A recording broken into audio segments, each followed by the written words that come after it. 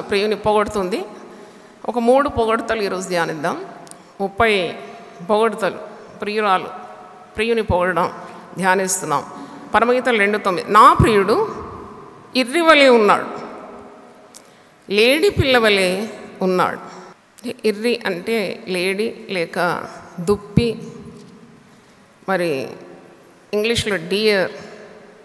లేడీకి ఒక ప్రత్యేకత ఏంటంటే కాలు సన్నగా ఉంటుంది. చాలా స్మార్ట్గా అగ్గాయిల్ అంటే దాని నడక కానీ దాని పరువులు కానీ ఎంత అతివేగంగా ద ఫాస్టెస్ట్ అనిమల్ దేసే ఇస్ ద డియర్ అంటే చాలా వేగంగా కొండలు గుట్టలు దాటుకుంటూ అది ఎగసి ఎగసి పరిగెత్తగలదు ఈ ప్రియురాలు అంటుంది నా ప్రియుడు ఇర్రివలే ఉన్నాడు లేడీ పిల్ల వలె ఉన్నాడు. అంటే దీని అర్థం ఎందుకు ఇలాగన్నది అంటే ప్రియుడు ప్రియురాలు ఎప్పుడు కలుసుకోవాలని ఆశపడతారు. అది సహజమే. ఆ ప్రియురాలి హృదయంలో ఉన్నదంతా ప్రియునికి తెలుసు. ప్రియుని హృదయంలో ఏముందో ప్రియురాలకు తెలుసు. They just long to have companionship వాళ్ళిద్దరు ఏకంగా సమయం గడపాలని ఆశిస్తూ ఉంటారు. ఒకరు సహవాసం ఒకరికి చాలా ప్రీతికరమైంది. ఎవరినైనా మనం ఇష్టపడితే ఎప్పుడు వస్తారో ఎప్పుడు చూడాలో ఎప్పుడు వారితో మాట్లాడాలో అని సహజంగా మనకు అలాంటి తలంపులు వస్తుంది ఎవరినైనా మనం ద్వేషిస్తే వాడు కనబడకుంటే చాలా నాకు అని అంటారు.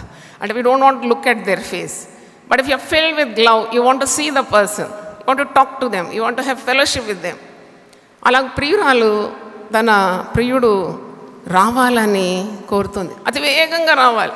నా ప్రియుడు ఎలా రావాలి? నా దగ్గరికి ఇర్రివలే రావాలి. లేడివలే దుప్పివలే దుప్పి వలె వేసుకుంటూ. గుట్టలు పర్వతాలు కొండలన్నీ కూడా దాటుకుంటూ నేను రమ్మనగానే రావాలి.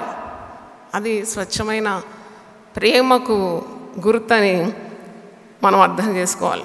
పరమగీతాలు రెండు ఎనిమిది. ఆలకించుడి నా ప్రియుని స్వరము వినబడుచున్నది. ఈ స్వరము అన్నప్పుడు సంఘములో దేవుని స్వరాన్ని సేవకులు వినిపిస్తారు. దేవుని స్వరం ఎలా వినాలి? సేవకులకు దేవుడు తన ఆత్మనిచ్చి తన స్వరంతో నింపి తన మాటలతో నింపి వారు సంఘానికి దేవుని స్వరం వినిపిస్తారు. సంఘం ఎప్పుడు కూడా దేవుని సన్నిధిని కోరుకుంటుంది. వధువు సంఘం it wants the presence of God కొన్నిసార్లు అంటారు కదా మేము ఆ సంఘానికి వెళ్ళాం కానీ దేవుని శక్తే లేదు. దేవుని సన్నిధి మేము అనుభవించలేదని అంటే సంఘానికి ఎప్పుడు కూడా ప్రభుతో ఏకం కావాలని ప్రభువు ముఖదర్శనం చూడాలని సేవకుల ద్వారా ప్రభు మాట్లాడాలని తహతాలాడుతుంది అందుకే సంఘము ఎప్పుడు కూడా ప్రియుని సన్నిధి కోరుతుంది ప్రియుడు రావాలని కోరుతుంది ప్రియుని స్వరం కోరుతుంది ప్రియుని తాకిడి కోరుతుంది. దేవుని స్తోత్రం హాలిలోయ ఇప్పుడు కూడా ప్రార్థన చేయమంటే అంటారు ప్రభు యేసు నువ్వు త్వరగా రా. ఇదిగో నేను త్వరగా వస్తున్నానని ప్రియుడు అంటాడు. సంఘం ఏమంటుంది? రా రమ్ము. త్వరగా రా. ప్రకటన ఇరవై రెండులో ఆఖరి వచ్చిన పరిశుద్ధ గ్రంథం ముగించేది కూడా రమ్ము. ఇదిగో ప్రభువా త్వరగా రమ్ము కనుక ఇది ప్రియురాలు యొక్క ఆకాంక్షను తెలియజేస్తుందని. ఆతృతను ప్రియుని చూడాలనే ఆతృత. So full love towards her beloved that she wants his presence. She wants his see him talk to him. ఇది సంఘానికి వధువు సంఘము ప్రియుడైన ప్రభువుకున్న బాంధవ్యాన్ని ప్రగాఢమైన ప్రేమను సూచిస్తుంది. అయితే విశ్వాసులమైన మనము కొన్నిసార్లు మన జీవితాల్లో సమస్యలకు తల్లడిల్లిపోతాం. మనము వెంటనే దేవుడు రావాలి. ఈ పరిస్థితి నా శక్తికి మించింది. నా బుద్ధికి మించి I cannot solve this problem I want my God to intervene నేను అలాగే ప్రార్థన చేస్తాను. నాకు కొన్ని శక్తికి మించిన కార్యాలు ఉన్నప్పుడు నేనేం టెన్షన్ పడను కానీ నాకు తెలుసు. నా ప్రియుడు నా సమస్యకు చాలినవాడు. కొన్నిసార్లు నా బుద్ధికి మించిన కార్యాలు ఉంటే కూడా నేనేం పెద్ద కలవరపడడం నేను ఒక గొర్రెం పెట్టుకొని చాప పరుచుకొని కూర్చున్నా దేవా నువ్వు గొప్పవాడు నా ప్రియుడా నువ్వు గొప్పవాడవు. నీ జ్ఞానమునకు మితి లేదు. ఒకసారి హలో చెప్తాను కంప్లైంట్ నా జ్ఞానానికి ఈ సమస్య మించింది కానీ నీ జ్ఞానానికి ఈ మితి లేదు. హలోయ ఇప్పుడు నాకు సహాయం చేయడానికి ఏ మనుషుడు లేడు. కానీ నీ బాహుబలం నా పట్ల ఎంతో గొప్పది. నాకు విరోధంగా రూపింపబడు ఏ విధ ఆయుధము? వర్ధిల్లదు నీవు నీ బాహులతో నన్ను ఆలింగనం చేసుకున్నావు. ఏ కీడో నాకు రాదు. చూడు కొన్ని గొప్ప కార్యాలు తలపెట్టాలంటే ధైర్యం కావాలి. ఏదో మనకేదో ధైర్యం ఉన్నందుకు కాదు. నా ప్రియుడు బలాఢ్యుడు కాబట్టి దేవుని స్తోత్రం. హాలెలుయ పరాక్రమం గల బలాఢ్యుని వల్ల నేను నీకు తోడై ఉంటాను ఈ మాటల ద్వారానే కదా ఒక సేవ చేయాలంటే ఎంత ధైర్యం కావాలండి? శక్తికి మెచ్చిన ప్రయాణం అది. ఒక కుటుంబం నడిపించాలంటే ధైర్యం కావాలంటే వందల వేల మందిని లక్షల మందిని ప్రభుతో తిప్పాలంటే అది అనూహ్యమైన శక్తి కావాలి. ఆ శక్తి కేవలం ప్రియుని ద్వారానే వస్తుంది ప్రియురాలకు. దేవుని స్తోత్రం హలెలుయ మరి నీవు మొరపెట్టినప్పుడు ఆయన వెంటనే నీ దగ్గరకు వస్తాడు. ఎలాగొస్తాడట? ఇర్రి వల్లే వస్తాడు దుప్పి వల్లే వచ్చేస్తాడట. గగనము చీల్చుకొని నేను నీ మధ్యకు వచ్చేస్తాను. ఎక్కడ ఇద్దరు ముగ్గురు నా పేరిట కూడుకుంటారో నేను అక్కడ వచ్చేస్తాను. ప్రియునికి ఎప్పుడు కూడా ప్రియురాలి స్వరం వినాలని చాలా ఆశ ఉంటుంది. ప్రియురాలు ఏ విధంగా ఆశిస్తుందో ప్రియుడు కూడా ఆశిస్తాడు. మీరు ఇదే రెండో అధ్యాయంలో చూడండి. పద్నాలుగో వచ్చిన బండ సందుల్లో ఎగురు నా పౌరమా పౌరం అంటే వధు సంఘాన్ని సంబోధిస్తున్నాడు. పావురం అంటే పవిత్రమైన పక్షి అని మనం ఈ దినాల్లో ధ్యానించినాం. స్పాట్లెస్ బ్లేమ్లెస్ నో గైల్ పావురం ఒక్క పక్షిలోనే చేదు కట్టు ఉండదాడు వేరే పక్షులన్నింటిలో మీరు కోడిని కోసినాక చేదు ఉంటుంది దాంట్లో. ఆ చేదు తీయడం మరిపోతే కూర అంతా చేదు అవుతుంది తినలేరు మీరు. పావురంలో ఆ చేదు ఉండదు సంఘంలో కూడా ఏ చేదు ఉండకూడదు. దేవుని స్తోత్రం అలెలుయ మీలో ఏదైనా చేదైన వేరు మొలిచిందా అని అడుగుతాడు. దాన్ని పెరిగి పారవేయాలి. ఆ చేదు స్వభావం గలవాన్ని కూడా సంఘంలో పెట్టకూడదు. ఎందుకంటే పులిసిన పిండి కొద్దిగా అయినా ముద్దంతా ఏం చేస్తుంది? పులియకూడుతుంది వెంట వెంటనే వారిని గద్దిస్తూ ఉండాలి కాపరి. ఆ చేత అంటుకుంటుంది. సంఘం పాడైపోతుంది. కురుకుడు పండు వల్ల కొన్ని కార్యాలు సంఘంలో ప్రాకిపోతుంది it be tough dealing with that person అయితే ఇక్కడ అంటున్నాడు నా ప్రియురాల ఇంకో దగ్గర అంటాడు నా నిష్కళంకమైన పౌరమా ఆరు తొమ్మిదిలో ఉంది. లెక్కకు మించిన కన్యకలు కలరు. నా పావురం నా నిష్కలంకరాలు ఒకతే. His love is so committed to the church Jesus commits himself to the church అందుకే సంఘము ప్రభువును ప్రేమించడం మాత్రం కాకుండా ప్రభు యొక్క పరిపూర్ణమైన ప్రేమను అనుభవించాలి. పౌలు భక్తుడు రెండో కోరింతి పదకొండో అధ్యాయంలో ఇలా జ్ఞాపకం చేస్తున్నాడు.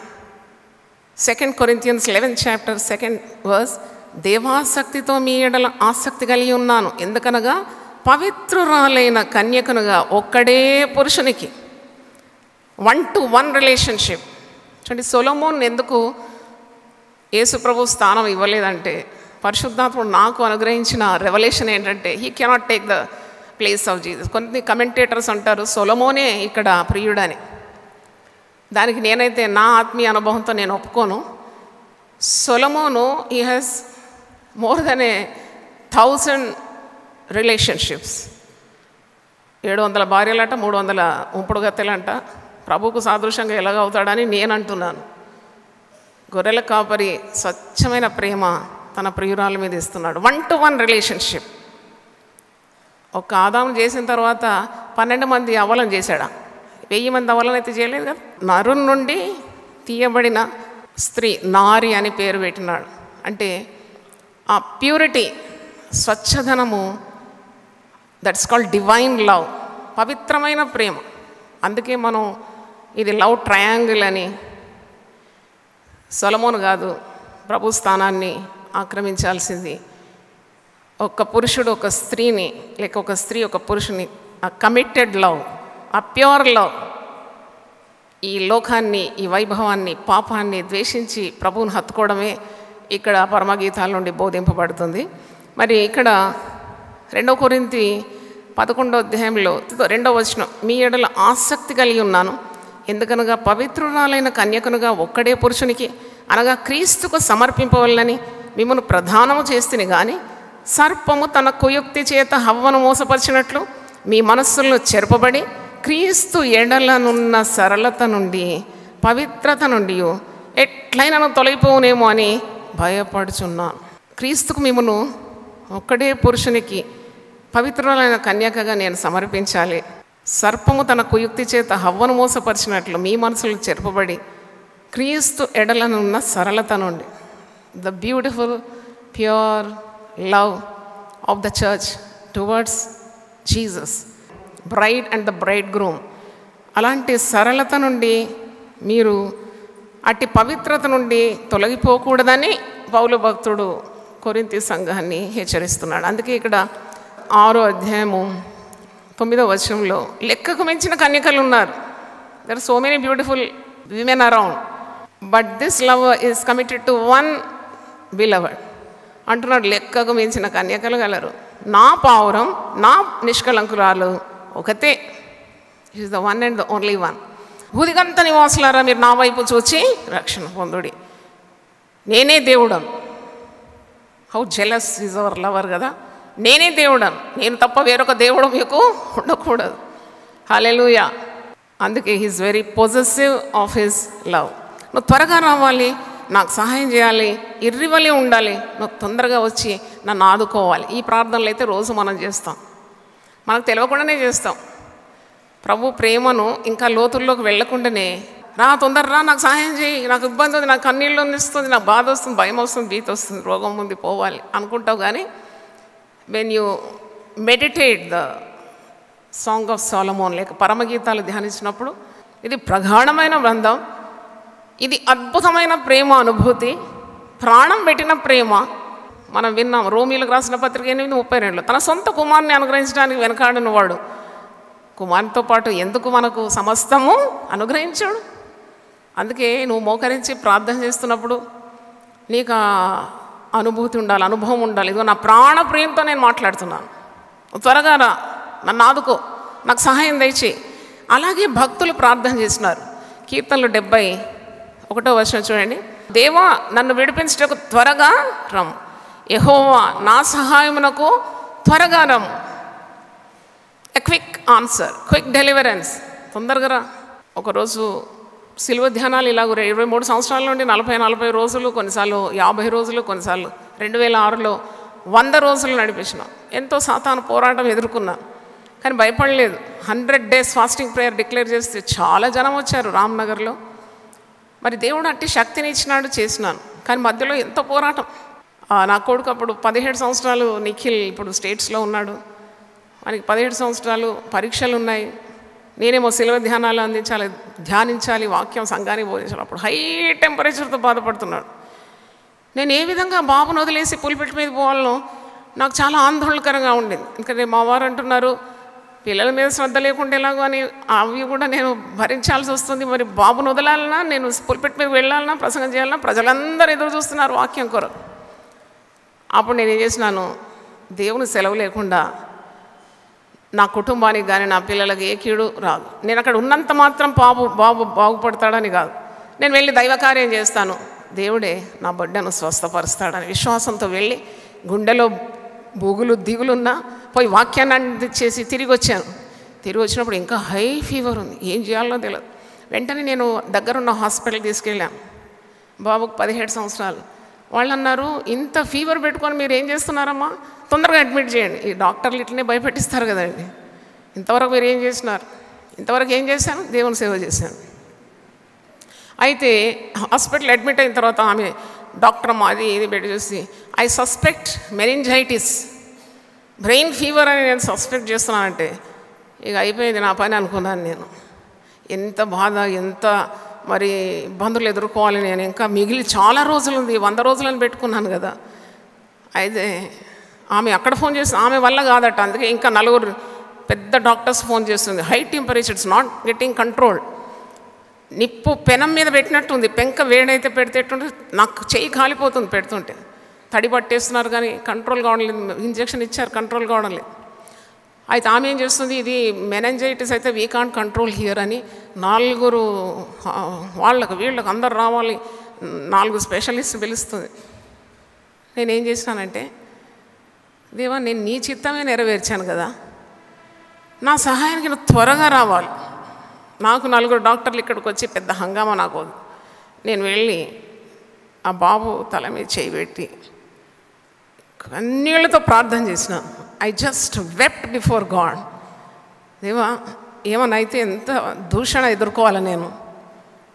ఈమె దేవుని సేవ చేస్తుంది పిల్లోనికి ఇట్లా అపాయం వచ్చింది అని అంటారు కదా. నన్ను నువ్వు కాపాడాలి. నేను చేయి పెట్టి ప్రార్థన చేశాను. ప్రార్థన చేసి అప్పటి వరకు ఆమె మెనైంజిటిస్ అన్నది. జ్వరం తగ్గడం లేదు.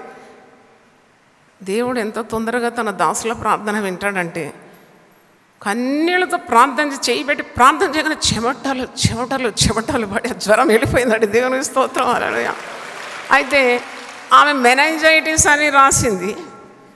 మళ్ళీ వచ్చి టెస్ట్ చేసి it can't be. I don't want to call the doctors. మళ్ళీ అన్ని అపాయింట్మెంట్స్ క్యాన్సిల్ చేసింది. మీరు నమ్మాలి same day he got discharge from the hospital. దేవుని స్తోత్రం అలెలు I could continue with God's work. అంటే దేవుడు ఏ విధంగా తనకు విధేయులైన వారికి సహాయం చేయడానికి ఎంత త్వరగా ఆయన దిగి వస్తాడని నాకు అనిపించింది. దేవుని స్తోత్రం.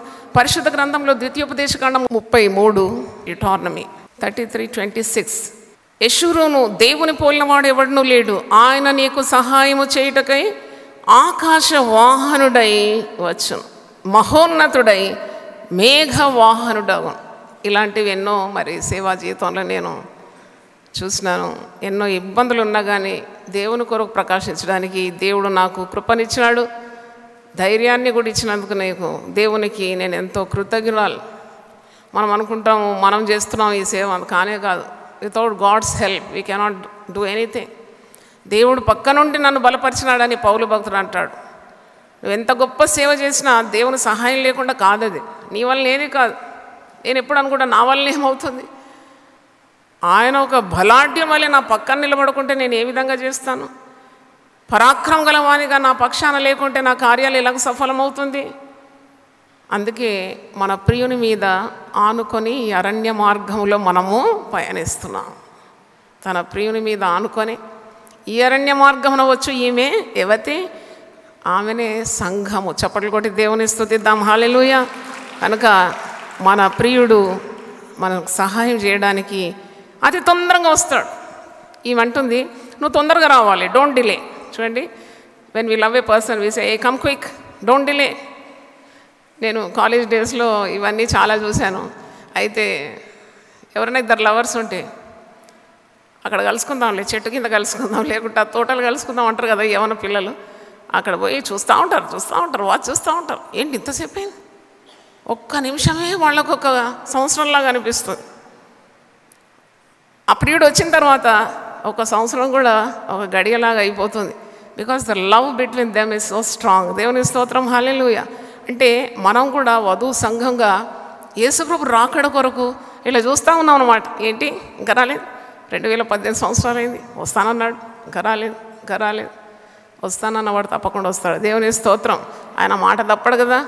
ఆయన దేవుడు కనుక తన మాట సత్యం. దేవుని స్తోత్రం.